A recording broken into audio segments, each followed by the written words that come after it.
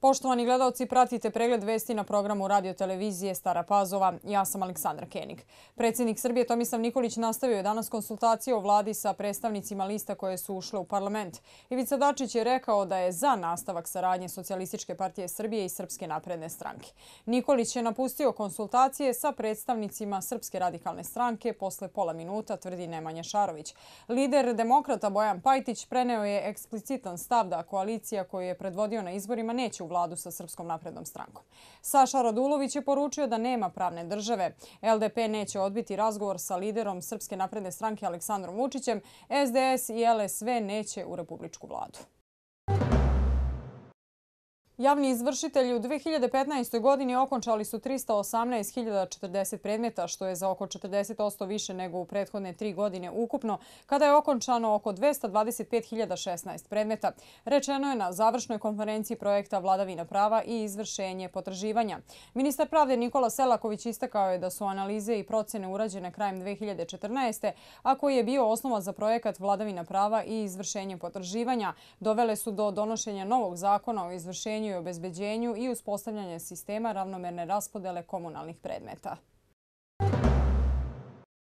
Svečanom akademijom povodom šest vekova od prvih pisanih zapisa o Vojki sinoć je završena četvorodnevna proslava obeležavanja ovog velikog jubileja.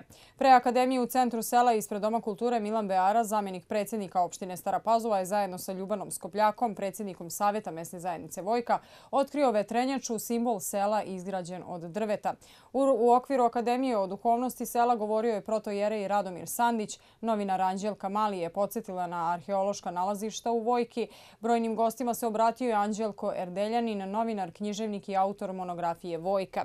U muzičkom delu programa nastupili su hor Sveti Nikolaj Srpski iz Nove Pazove, ženska pevačka grupa Kuda Slavko Gajin sa najstarijom zabeleženom pesmom o Vojki, kao i magistar kontrabasa Ljubinko Lazić. Posredstvom video bima svečani skup su pozdravili Vojčani koji su u svetu, a ne zaboravljaju svoje selo, dok je na kraju programa prikazan dokumentarni film Šest vekova Vojke autora Milivoja Kovačevića. Iako je centralna proslava trajala četiri dana i svoj epilog imala upravo na dan seoske slave, koji je ujedno i dan mesne zajednice, cela godina je u znaku ovog velikog jubileja. Oko 30 biciklista iz Stare Pazove uključilo se u humanitarnu akciju za pomoć Nikoli Volinoviću i vozilo humanitarnu turu od Stare Pazove do plaže Venecija u Starim Banovcima i nazad laganim ritmom uz druženje svih učesnika. Po povratku u Staru Pazovu kontaktirali su Nikolinu majku i predali sakupljeni novac. Ovaj potez biciklista dokaz je da Staropazovčanima ne nestaje ideja kada je potrebna pomoć nekom njihovom sugrađaninu. U akciji prikupljeno preko 9000 dinara. U Valjevu se održava republička smotra recitatora pesniče naroda Mog, na koju su se iz Staropazovačke opštine plasirali Lora Meršak i Andrej Simendić, recitatori srednjeg uzrasta koje je glumac Miodrag Petrović kao predsjednik žirija ocenio i kao najkvalitetnije na zonskoj smotri Srema u Staroj Pazovi. Lora i Andrej su pre mjesec dana osvojili zlatne diplome na pokrajinskoj smotri u Sečnju. U petak i u subotu u Novoj Pazovi je održan 11. Međunarodni festival dečijeg folklora Razigrana mladost. Nastupilo je oko 800 učesnika iz Nove Pazove, Kostolca, Bogatića, Batajnice, Stare Pazove, Sremske Mitrovice, Jakova, Novih Banovaca i četiri inostrana ansambla iz Republike Srpske, Makedonije, Hrvatske i Bugarske. Drugi dan festivala je počeo defileom učesnika kroz centar Nove Pazove, nakon čega su izvođači pred punom sportskom salom publike pokazali pesme i igre iz krajeva odakle dolaze i na koji način neguju narodnu baštinu.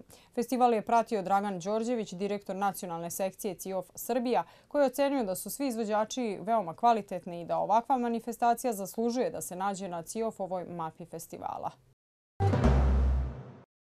Doajen srpskog i jugoslovenskog glumišta Velimir Bata Živojinović preminuo je sinoć u 22 časa i 45 minuta u bolnici Sveti Sava u Beogradu u 83. godini života prenose beogradski mediji. Živojinović je odigrao najviše uloga u celom regionu, a u svetu je poznat pre svega po ulozi u filmu Walter brani Sarajevo.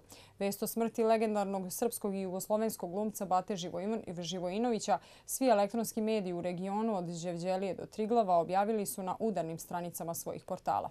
Predsjednik vlade Srbije Aleksandar Vučić uputio je danas telegram saučešća porodici Velimira Bate Živojinovića u kojem poručuje da je odlaskom legende srpskog glumišta izgubilo jedno od najupečatljivijih ličnosti sedme umetnosti.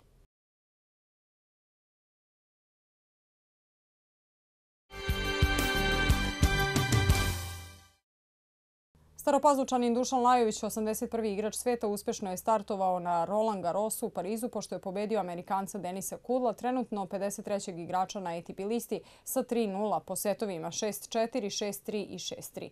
Meč je trajao sat i 43 minute, a pobedom Lajović se plasirao u naredno kolo turnira u Parizu.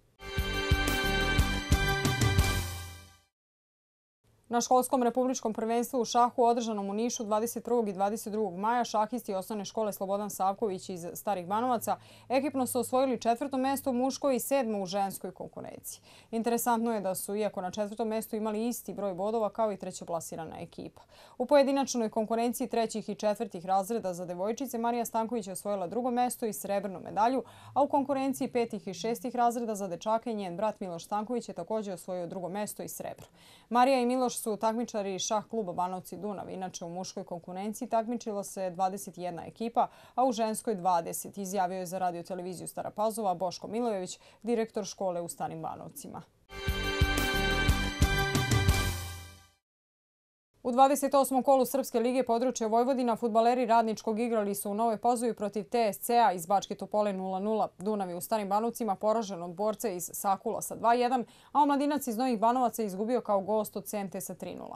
U 28. kolu Novosadsko-Sremske lige Sremac je u Vojki izgubio od Crvene zvezde iz Novog Sada sa 3-0, a jedinstvo iz Stare Pazove pobedilo u gostima Veternik sa 3-1. U 27. kolu Sremske lige Hajduk 1925 podunavac iz Belegiša poražen je u Rumi od 1. maja sa 2 2-1, dok je Jadran u Golubincima savladao Partizan iz Vitojevaca sa 4-2.